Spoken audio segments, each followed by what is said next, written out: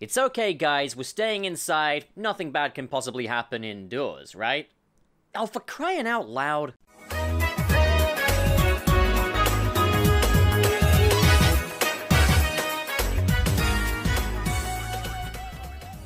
Marvel Comics is back in the media's limelight with their brand new take on the New Warriors comic series. A new generation of diverse superheroes is here, with their latest lineup. Incorporating diversity into comic books and any kind of fiction, to be honest, has always proven a challenge. A common complaint is that Marvel and DC Comics tend to swap out their legacy players for diverse takes on them, which mean that these characters are really just the extension of somebody else's legacy. The common reasonable response is just just make new characters. If you want to represent different demographics not previously represented in this medium before, make brand new characters for them. Characters with their very own legacies that can fulfill their very own destinies without being an extension of somebody else. Well, Marvel has done just that in creating a set of brand new superheroes designed to appeal to the young adolescents, teenagers, whatever of today, representing demographics unseen before in Marvel Comics. With the new newly announced lineup of the New Warriors. So starting off we have Trailblazer, an ordinary teen scooped up into the world of superheroics. She has a special backpack, which is actually like a window to a pocket dimension. It's bigger on the inside and nobody knows how big. And with that she can pull out random objects to use during crime fighting. But it's not something she always has control of. She claims that God gave her this power, but not the God you're thinking of. She doesn't see herself as a superhero, but she always wants to help people people. And she's rising up because Kamala's law has been put into effect, which forbids any superheroes under 21 from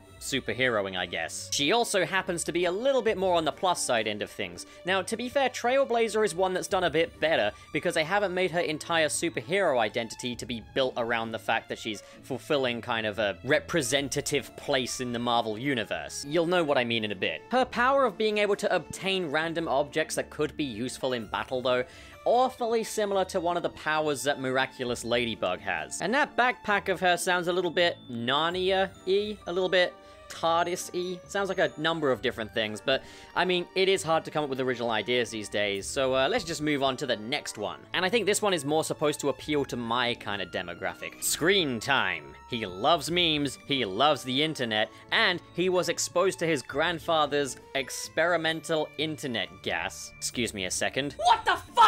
And now he has the power to Google anything immediately, as well as, well, living basically in VR. Fuck! Here's a little quote from the Marvel press release. The word screen time is only ever used in a sort of restrictive sense, and because we're doing a story about teenage rebels, a lot of the names are about teens fighting against labels that are put on them. So with screen time, we really like the idea that he has infinite screen time. I don't get it. Where where is the pun? Where, where's the joke here? Aha, well, his name is Screen Time because he has a lot of screen time. I mean, I might be wrong here, but I've only ever heard anyone use the word screen time in reference to how much screen time like an actor or something gets in a movie. For example, Spider-Man gets dick all screen time in The Amazing Spider-Man 2. I'm a guy that uses screens a lot. I guess you could call me a guy that gets a lot of screen time. I've never had the label screen time. I've never once had an adult call me screen time. What is the label here? Sorry, but this is fucking embarrassing. Next up, I'm gonna move. I'm gonna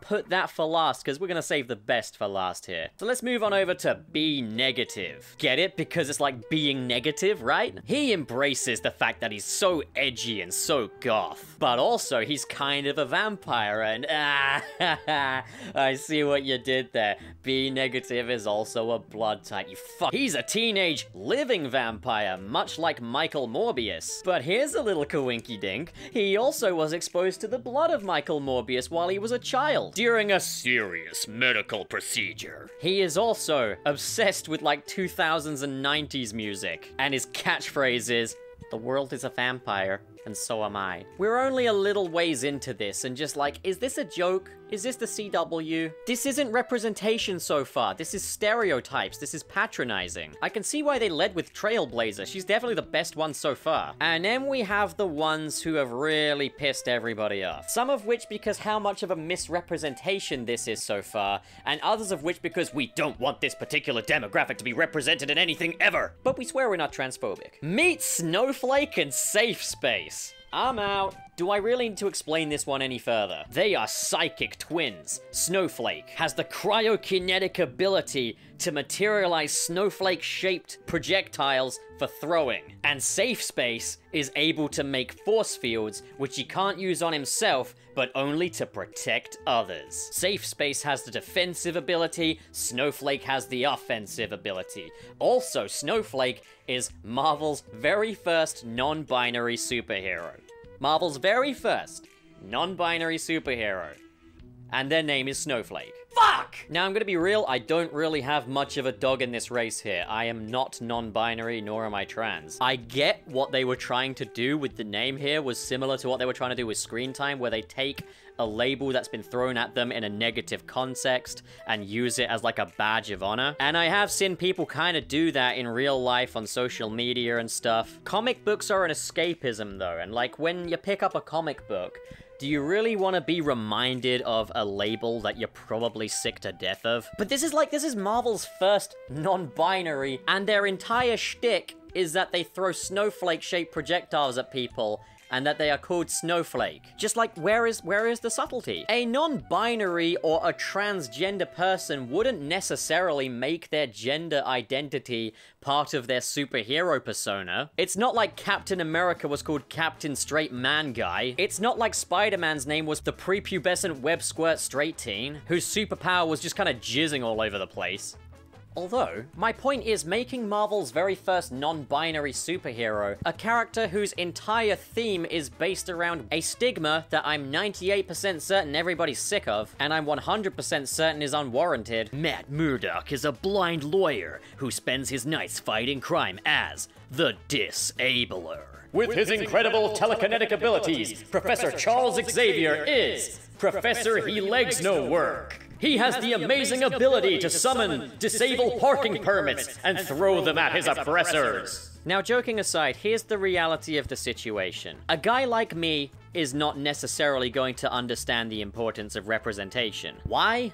Because I've been represented my entire life. This is not a void or a burden I have ever had to live with. Behind this animated dog avatar is a white straight guy, and we got dozens of those in fiction. I wouldn't want to experience the void and the burden that other people have to live with because they are going unrepresented. Sure, they can relate to the likes of Spider-Man and Iron Man, but there's a certain level that those characters don't get to share with them. And that's why it's important. There's room enough on my plate for everybody to have a slice of the pie.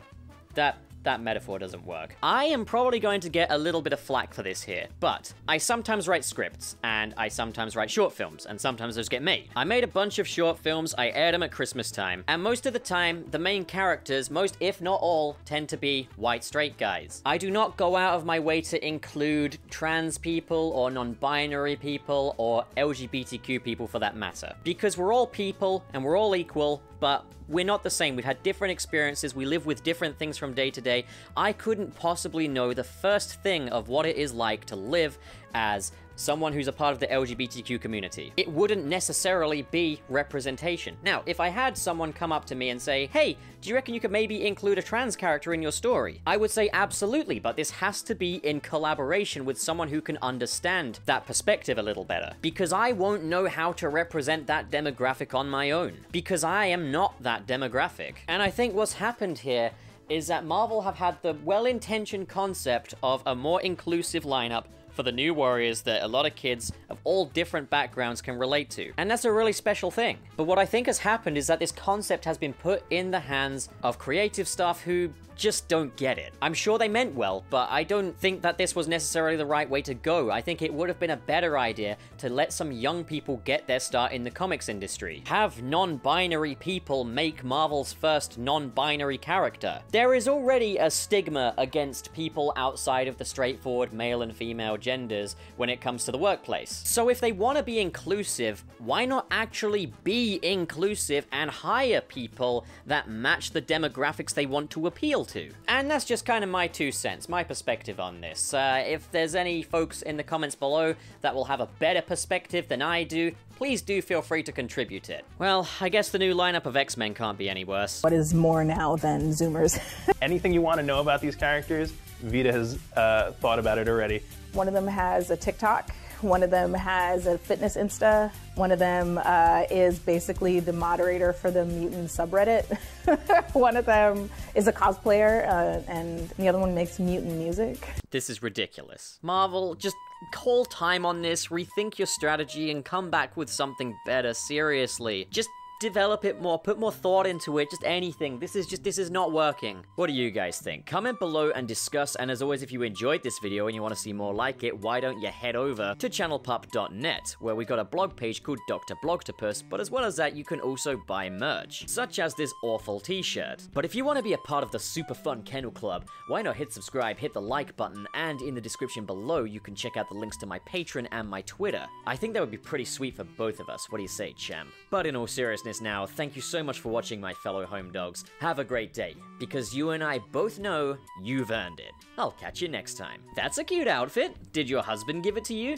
Because you could get a way better costume from Zentai Zone. Check out their range of custom-made, tailored superhero costumes. Ridiculously good quality, value, and customization. Link is in the description below, as well as my coupon code CHANNELPUP, where you can get a discount off of your purchase. And while you're at it, why not get your suit designed by my talented buddy Dan from New Blood Dan's workshop? You can contact him via the link in the description below. Seriously guys, you do not want to miss out on your chance to be your favorite superhero and feel authentic and professional. And you don't want to miss out on that Channel Pup discount.